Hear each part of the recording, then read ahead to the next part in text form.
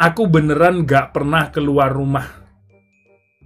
Bukan karena aku nolep, tapi aku tahu ketika aku keluar rumah, aku pasti ngeluarin uang untuk hal-hal yang aku nggak perlu.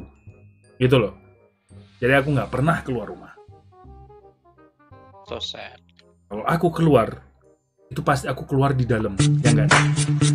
Ah.